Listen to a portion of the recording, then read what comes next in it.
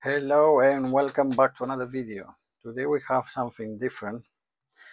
I'll show you how to replace this battery on a Nuki power bank or whatever this is called.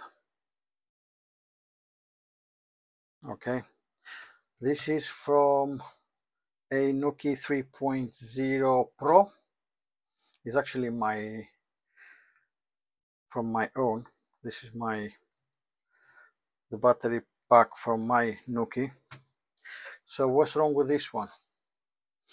Now I charged the battery I think three or four days ago because it was flashing red. After charging the battery, next day light was off. Uh, it worked fine for a couple of days. Then Saturday it started flashing red again. I looked into on the app and you're showing 18% battery charge. So I put it back to charge uh, until the light stopped again.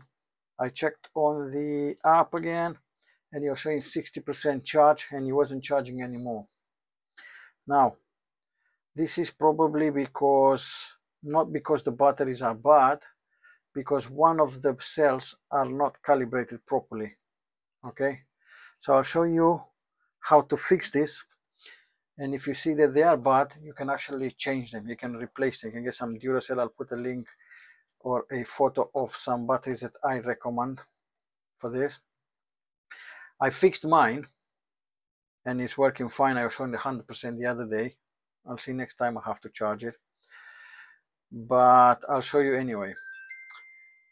I'll leave it like that for a second so you can take a photo of the markings. These markings, I made them myself. Uh, you have this plus in here on the right facing like that. You have a plus in here, right down. A minus in here, left on the bottom. Then you have the opposite in here.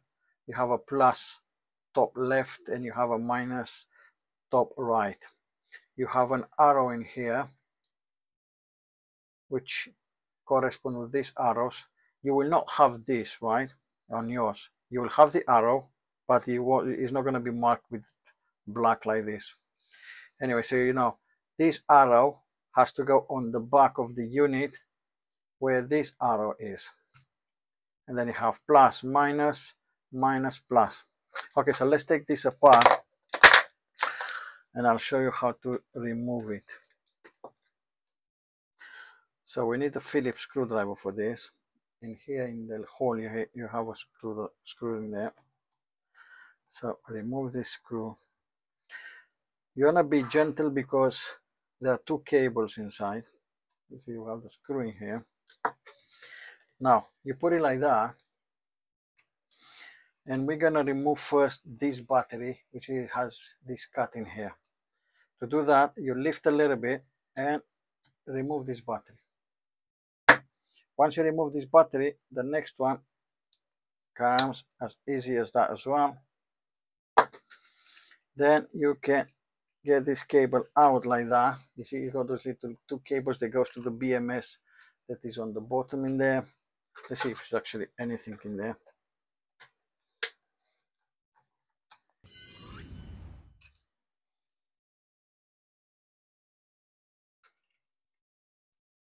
Yeah, I can see a board in there. I don't know if you can see it. You see, there's electronic in there. We're not gonna mess with that now. It's working, so let's not fix something that is not broken, right? And then these two batteries.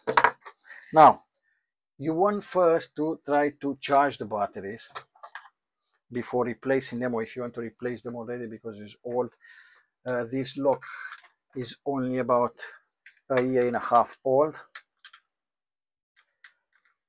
I don't even think it's a, I think it's one year old or something. And the batteries are already dead or badly balanced. So you get a charger, it doesn't have to be this one.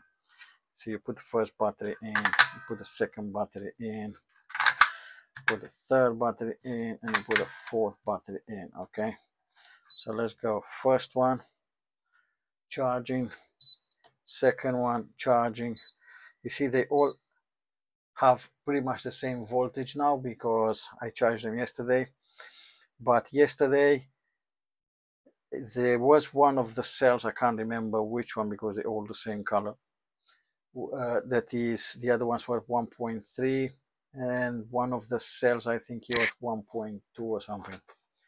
So was badly balanced now you leave this in charge for a few minutes. Depends on how fast your your charger is. And after a few minutes we'll try again. Let me pause the video and I'll come back in a few minutes.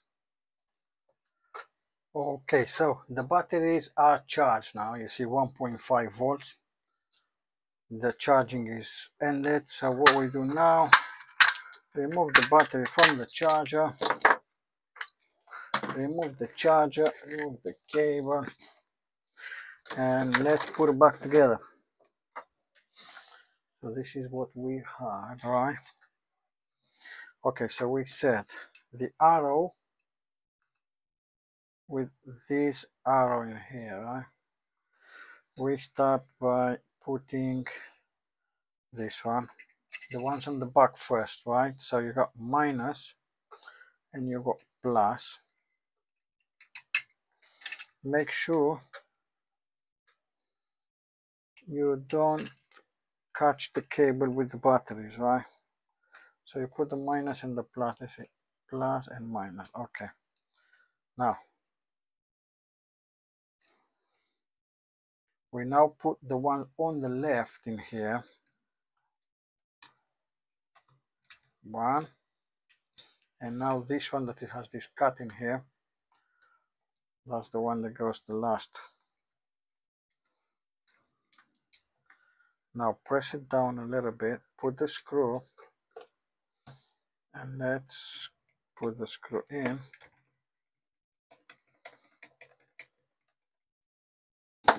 before screw it all together arrange it so make sure it's touching nicely. You don't have to over screw it it goes into the plastic.